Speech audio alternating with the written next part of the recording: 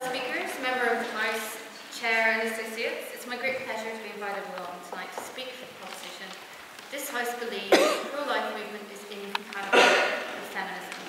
Surprisingly, for an artist, I've been invited to speak on this issue with alarming regularity recently, likely following on from my research and work on abortion travel from Ireland and Northern Ireland, which is currently on show at the Copperhouse Gallery in Dublin. What I have learned since beginning the work in 2010 is that abortion evokes strong opinions, but the level of debate we usually hear is restricted by easy rhetoric and marked by a blame game, as if guilt and shame are the only possible results of what is actually an incredibly common medical procedure. I shall try and steer clear of these tropes this evening, and instead I'll take, make two main points to illustrate why the pro-life movement is indeed incompatible with feminism. Firstly, I'll map, up, map out my understanding of the definition of feminism as we know it in 2013. Secondly, I'll show you how a pro-choice stance is really the only possible stance of a self-proclaimed feminist, and therefore point out the incompatibilities. So, first up is feminism. That wonderfully polarising word. Recently at a Belfast Feminist Network meeting, we were discussing the ways in which we all try to rebut unwelcome and persistent attention, especially if alone or in a noisy bar or club. There were many suggestions, from polite to profane, but seemingly the most overwhelmingly effective method is to tell your pursuer, I'm a feminist. However, not only does being a self-proclaimed feminist repel people, it also allows us to be challenged daily on thorny issues like rape and abortion. Seriously though, if you're going to be a feminist, you have to be prepared to fight your tiny underrepresented corner all the time, and these battles come in many guises. So firstly, a dictionary definition feminism, the advocacy of women's rights on the grounds of political, social and economic equality to men. I think this covers a lot of ground, but there are some important contemporary additions I feel I should point out. Feminism is also a belief in in gender parity, specifically the right of women to control their own destinies, including bodily autonomy and reproductive health. Thirdly, feminism is a social and political movement based on the radical notion that women are people too, and demonised by the pathologically vicious and evangelical worldwide religious right wing. Is also a term uh, rejected by minority and working class progressive women whose concerns, efforts and agitations towards gender equality have been historically ignored or dismissed by progressive movements overwhelmingly white, heterosexual, wealthy standard bearers. Feminism is also the acceptance that a culture of life demands respect for the lives and choices of the already born. Feminism is a vibrant social movement more than 100 years old and made up of individuals who, although they sometimes passionately differ on the details, believe in one overarching idea. Female, and for that matter, male liberation, which I think we can all agree on. So now that I've framed my own understanding of the word feminism, let's see how we deal with the dreaded abortion question. So secondly, pro-choice and feminist, or Yep, I'm that outspoken, right secular pro-choice feminist they warned you about. It seems clear to me that social and political equality can never be achieved without a woman be able, being able to choose whether or not she is ready for motherhood. A state that forces women to be pregnant against their will or continue a pregnancy despite life-threatening dangers is not a state dedicated to social equality. Rather, it appears bent on bodily control of half the population. There are many situations in which a woman can find herself unwillingly pregnant. Sometimes this woman may decide she actually, on reflection, wants to continue with the pregnancy. Sometimes she will decide, upon weighing up her options, she would like to be pregnant. If this woman lives in a country where abortion is illegal, we are then asking her to put herself in the hands of underground, unlicensed abortion clinics, unlicensed online abortion pills, no aftercare, risk to her health, and even in some cases, criminality and imprisonment. Given that a woman is fertile for at least 30 years and can be pregnant a few times every month, and the only 100% reliable way of not getting pregnant is not having sex with a fertile man, then it's not surprising that many women find themselves pregnant unexpectedly. And these are the women who wanted to have sex and are in relative control of their sex lives. As a feminist, what should we offer these women at this stage? Recriminations? Prosecution?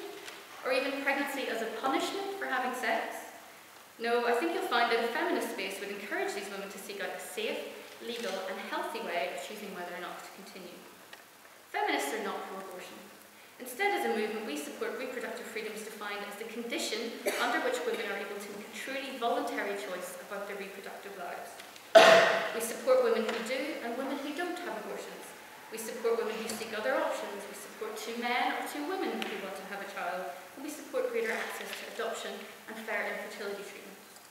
A feminist has a collective responsibility to other women to also respect that other feminists may have a different.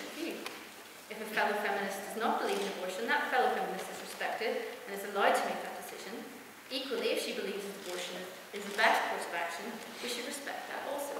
However, once you legislate against abortion, the ability to choose the course of her own life is removed and the right to bodily autonomy is gone. Let us also remember for a moment that feminism does not end at national borders. My fellow speakers should take care to remember that most women in the world have little or no control over the conditions in which they have sex. Horrifically, a 12-year-old girl in South Africa is more likely to be raped than know how to read. Marital rape is still sanctioned in most countries um, outside of the Western world. Rape culture is still prevalent, including in this one. We ought to be fighting for everyone's right to safe and legal abortions if they so wish. We should also be struggling for a world in which women can actively choose when they have sex. Susan Sherwin, author of Abortion Through a Feminist Ethic Lens, says, Women's freedom to choose abortion is also linked with their ability to control their own sexuality.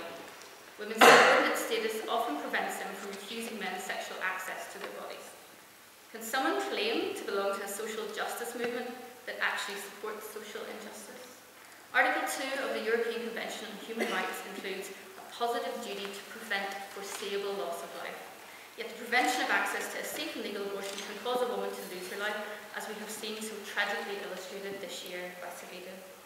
I have no problem with a single feminist upholding his or her own pro-life opinions. However, to enshrine these pro-life opinions into law or as a lobbying movement, as Ireland has, is to enforce their opinions on everyone rather than to allow them to choose their own path towards or away from motherhood. One of the other main problems of being pro-life encounters when trying to negotiate feminism is the importance it proffers the potential life over the actual life. As if the potential of a new life would surely be better than this existing woman. The pro-life stance fetishes the fetus to the complete obliteration of the woman. Yet in truth, the fetus cannot sustain itself and is utterly reliant on the woman's body until it is born. Few things are more critical to the maintenance of patriarchy than controlling a woman's reproduction. In conclusion, we can see clearly feminism enshrines the principles of equality, gender and sexual parity, and as a result, social movements are necessary to achieve equality between men and women with the understanding that gender always intersects with other hierarchies. But we've also learned that feminism is a movement which, through wide wide-ranging in opinion, should be united in its attempts to attain liberation and emancipation for all expressions of gender. With this understanding of feminism in mind, you can see that enforced pregnancy, which is absolutely central to the beliefs of the pro-life movement, clearly contravenes any attempt at social equality between the sexes. Bodily autonomy and a right to life are enshrined in international law, and are clearly trampled over by the attempts, the attempts of the pro-life movement to muffle, muffle these women's voices and shame their choices. Finally, the representation of the pro-life movement of the fetus as an independent entity completely separate from the body of the woman it inhabits is disingenuous and misleading in the extreme and only serves to negate the role of every woman in her pregnancy rather than enshrine her rights as a human, which any feminist movement would move to do. These reasons and many more I have not time to go into this evening are why this House should indeed believe that the pro-life movement is incompatible with feminism.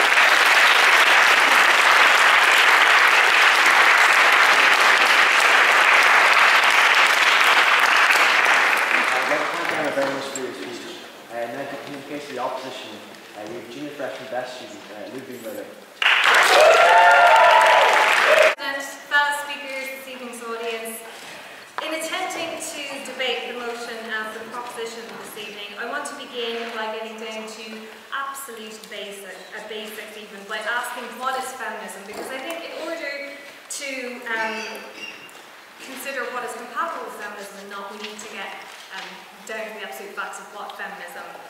is. Now, because feminism is so much part of my life, the question of what it is is not something I've been too preoccupied with for um, a long time. Thankfully, however, uh, the question is hotly contested on the internet, as I'm sure you know, particularly in that bastion of intellectualism known as Yahoo Answers. Um, now, there are many answers to uh, what feminism is, but my two favourites I have selected to share with you here this evening. So here goes, brace yourselves. The first one goes like this. Feminism is women who hate men, are fat, angry lesbians, with inferiority complexes. Most feminists are radicals, a few are humanists who haven't caught up to the feminist deception yet. sounds like a Dan Brown novel.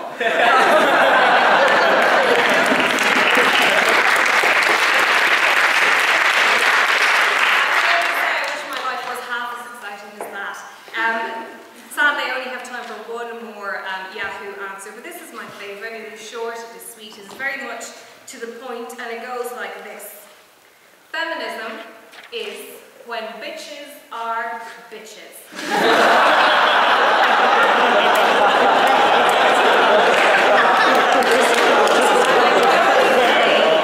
I'm sorry that that's already quite over because I feel there's a lot going on there.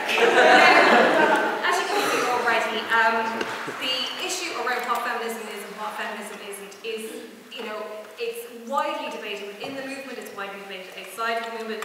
So, in the interest of what we're doing here tonight, I've decided to go with a definition of feminism that is widely accepted within the feminist movement and has been since it was coined by a lady called Bell Hooks, who is an American activist um, and writer. She's an incredible woman, and she says, Feminism is a movement to end sexism, sexist exploitation, and oppression. Okay. Now, the word oppression is a heavy one, after Yahoo Answers in particular, but I want to focus on it for a moment. It's a word we associate, I think, more with our ancestors' history, with people, understandably, who live under perhaps more recently in Ireland, and with those poor women who suffered in our Magdalen laundries. Most of us here tonight um, were born at a time, in a place, um, whose political landscape afforded us free societies, uh, stable upbringings, many other freedoms, most of which are completely invisible to us, and we are very, very lucky because of that. Oppression is not a word we would use to describe the way we live.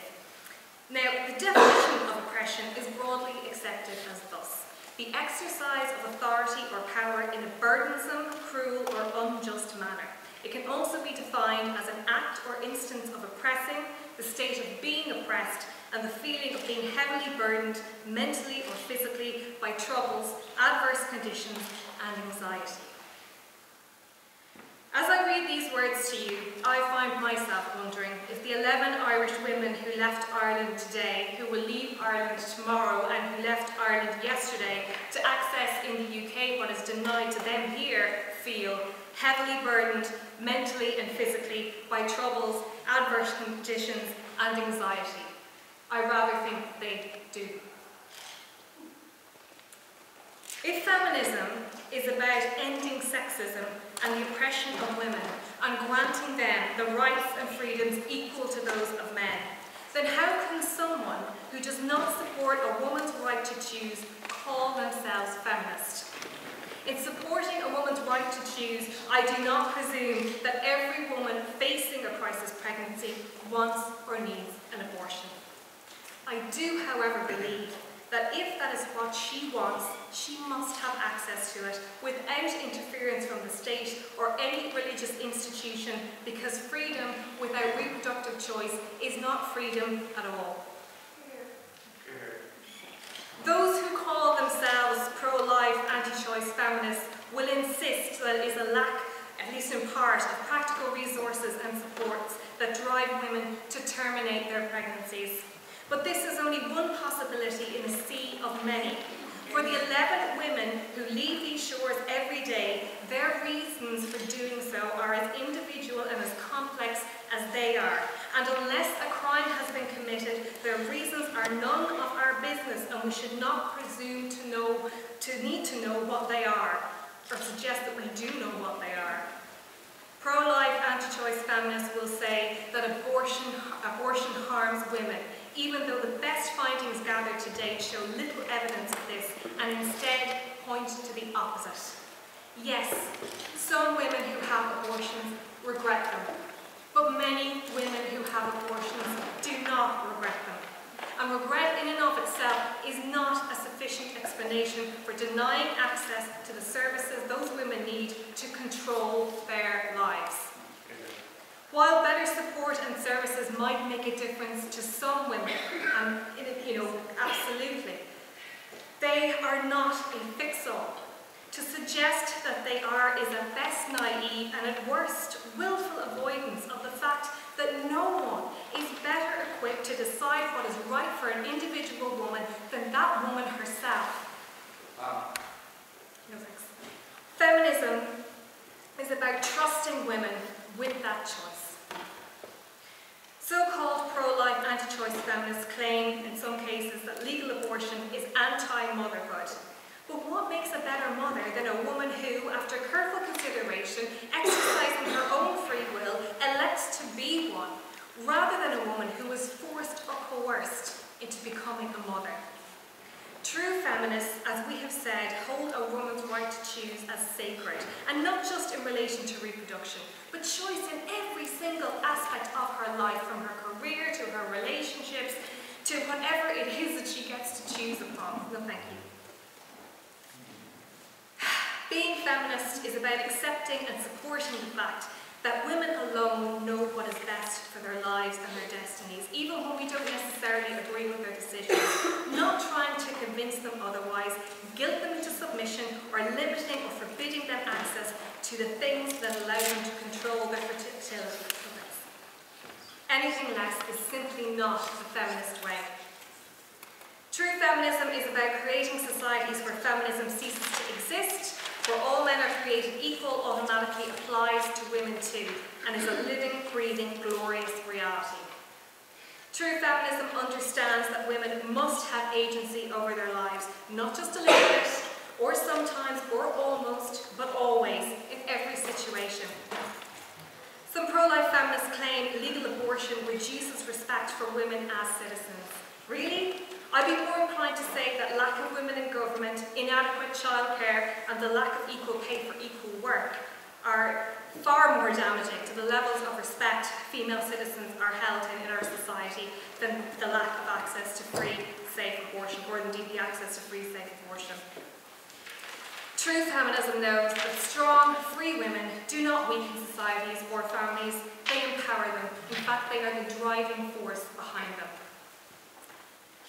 I would like to leave you um, with the following words from Faye Wattleton. She's a former president of Planned Parenthood in the US. And she says, reproductive freedom is critical to a whole range of issues. If we can't take charge of this most personal aspect of our lives, we can't take care of anything.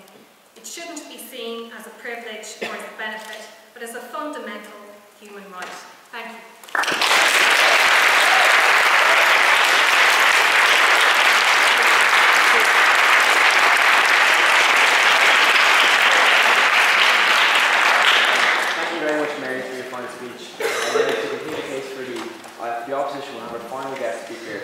Vice President of Feminist Coalition, Sal Yang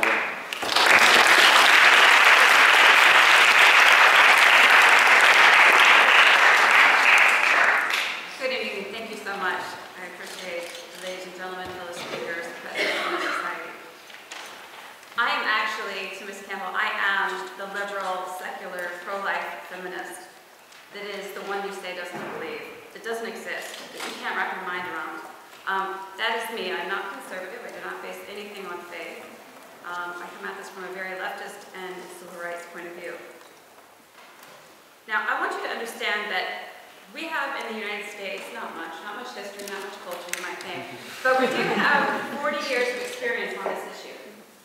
We legalized abortion 40 years ago this year, and this January 22nd, nearly a quarter to a half a million pro-life people came together to mourn the loss of these children. Now, I'm not going to focus on this at all. This is not where I come from on the issue. I'm not even going to talk about the children, the fetus, the embryos, however you would like to phrase it. I want to look at this failed experiment on women and talk about the women in these situations. Now, I'm going to speak of the barrister who was the lead in the Roe v. Wade, the case that went to the Supreme Court. Her name was Sarah Weddington. This will be some of the reasons why she felt as though abortion should be legal. She said for women who became pregnant while employed, quote, in the matter of employment, she often is forced to quit at an early point in her pregnancy. She has no provision for maternity leave, she cannot get unemployment compensation under our laws, because the laws hold that she is not eligible for employment being pregnant and therefore ineligible for unemployment compensation. For women with serious medical needs, she went on to add, there is no duty for employers to rehire women if they must drop out to carry a pregnancy to term.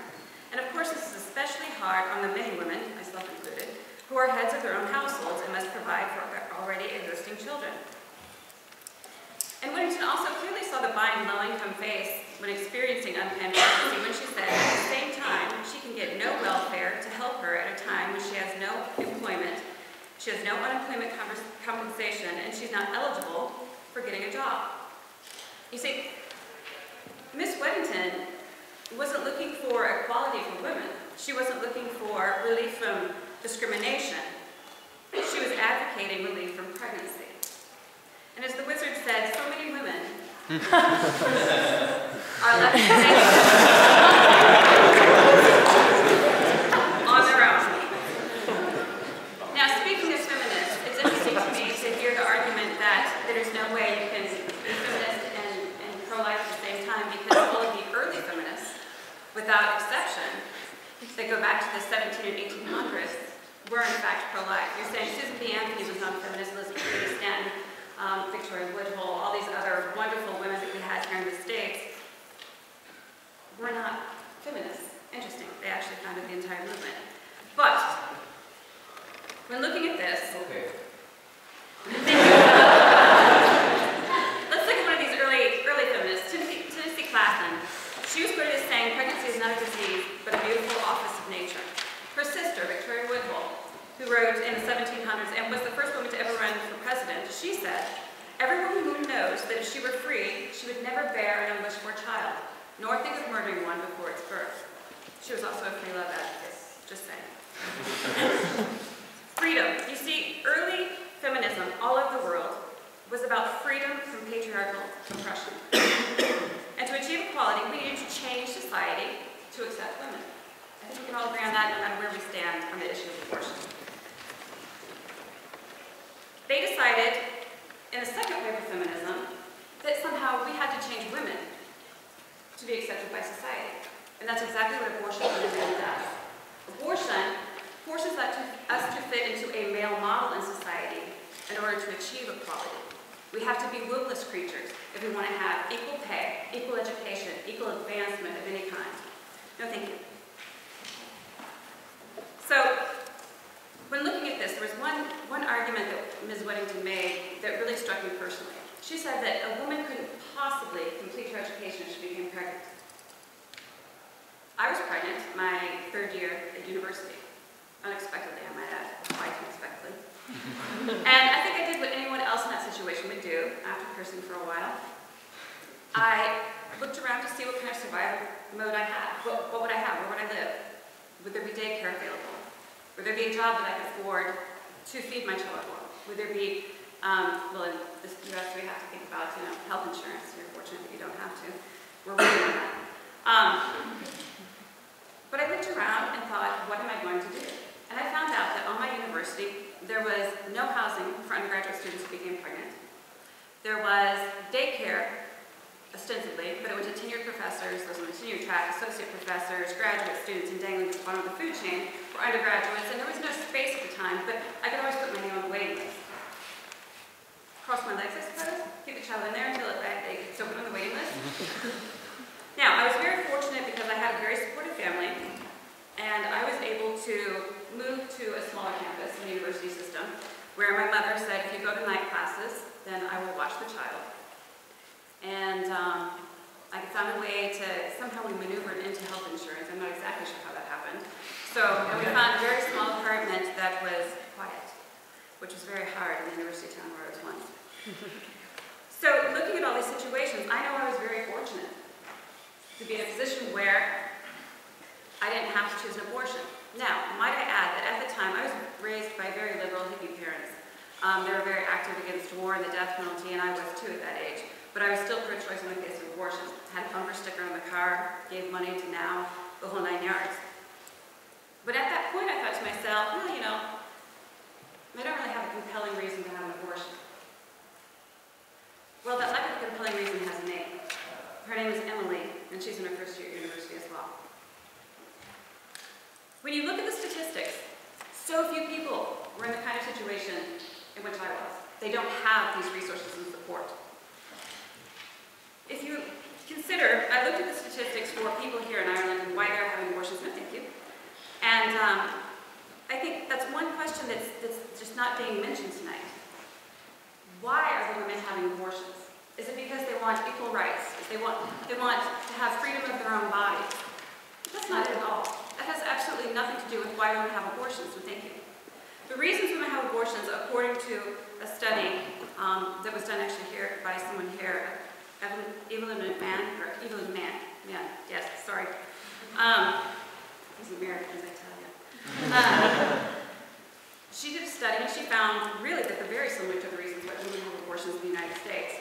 The reasons, career job, stigma of raising a child alone, the child's needs, financially unready. Those are the reasons why women are having abortions here. thank you. The reasons why women are having abortions in the United States are very similar.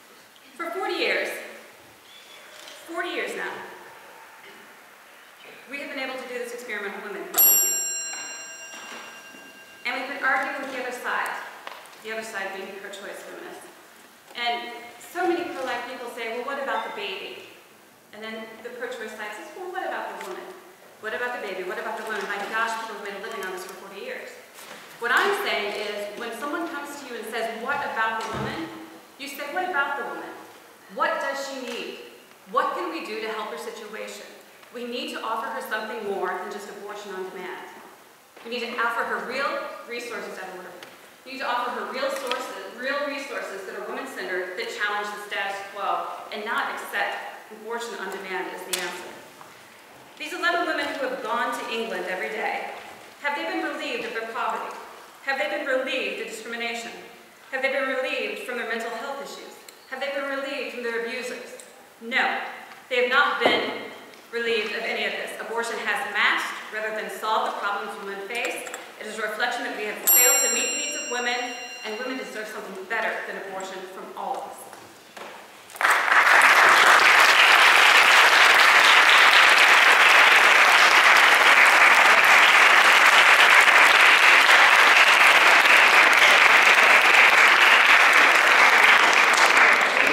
uh, Sally Ann Winn for a fine speech and for coming all the way from the States uh, to visit us tonight. And now to uh, move on to the final speaker from the proposition, uh, Junior Officer, English Literature, and Ancient Greek student. I that'll do. Adam Mooney.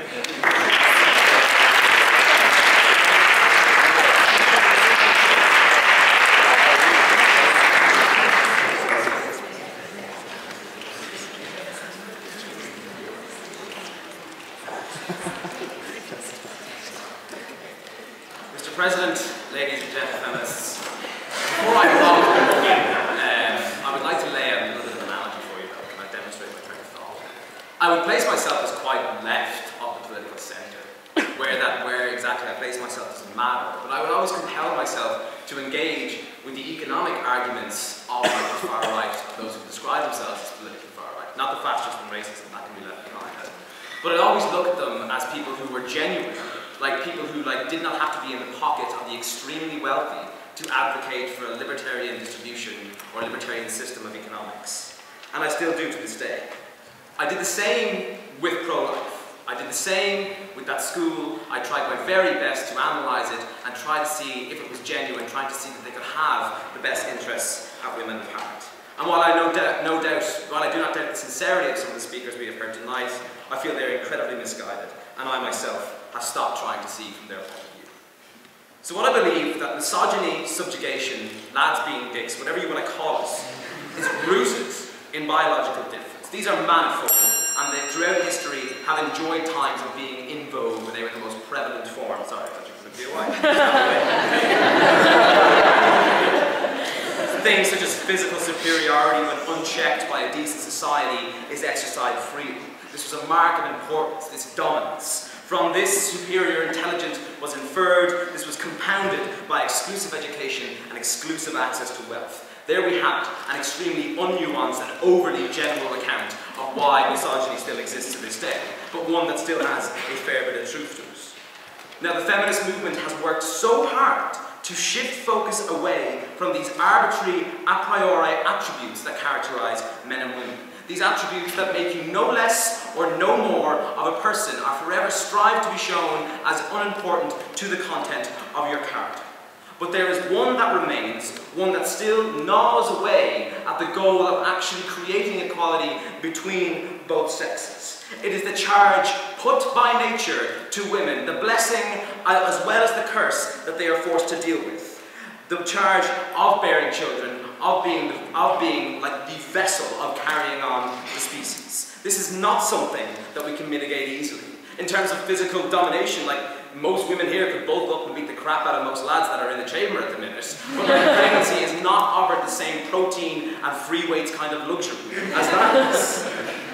Because anyone who claims the label of feminist, this is the goal that I put to you. We must mitigate against the unmitigable, unmitigable, whatever that word, whatever the negative of that word is. we must allow individual women the ability to mitigate and mitigate against this if they so choose. Because if that is not the case, if we do not give ourselves that goal, the movement which strives for women's liberation holds a process process which in this case was not consented to as one that supersedes all in terms of importance, in terms of what should be a woman's priority. I think that's incredibly detrimental to a movement which claims to have women's interests at heart. Because for them, in that case, women's liberation is contingent on the fact that you are not pregnant, contingent on the fact that you are not bearing a child. Now, let me be unequivocal of what we've heard from the opposition bench. I do not care about polarization. I do not care about alienation. And I do not care that the feelings of someone who wants to enforce their own morals and judgments on a particular woman, that those feelings are hurt. I do not care that those people will exist as a result of this belief. Germaine Greer, that was brought up there, the, like the, the feminist, yeah, she was a feminist. She's also a horrible individual for her comments.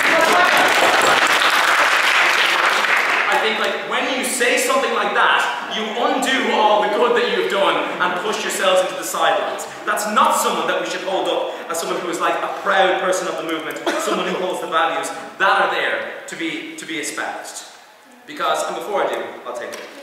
What about the belief that this isn't a right that we're denying women, it's a right that we're denying men as well, when people believe that this is about murder, it's not a right, that you're denying either side.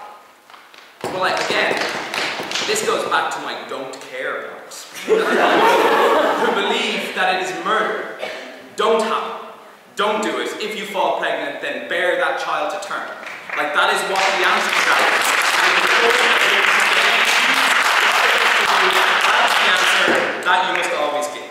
Because let's have a look at the rhetoric of the moderate pro-life side, ones who avoid the disgraceful tactics of youth defence such as groups like Feminists for Lives. And like, I do not doubt the sincerity of this group.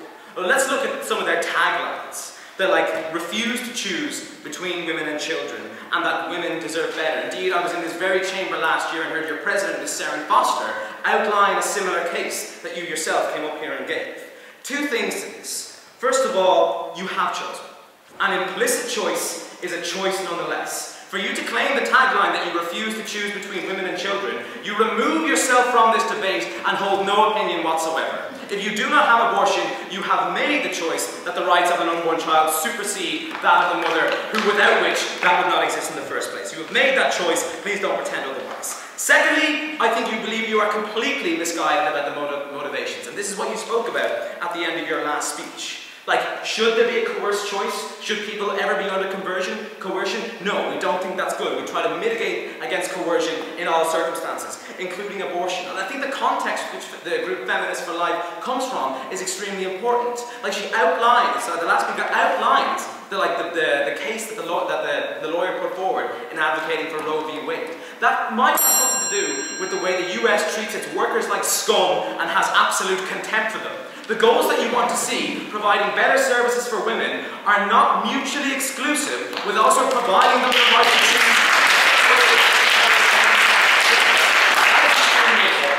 And the fact that we must all face, however chilling it might be, particularly in the context of the entirely vicious pro-life dominated media space that we have in this country, is that there is some women who simply do not want to bear a child. Not for economic reasons, but for the very choice that they think that I have some life left to live where I do not have to care for another human being. That is legitimate. You have no answer to that that can be put through the lens of what is best for the woman. Because in that case, if that is her motivations, then the choice to have an abortion is what's best for her. Not some rhetoric about better paternity leave, better maternity leave. We can do that for another day. Very fair,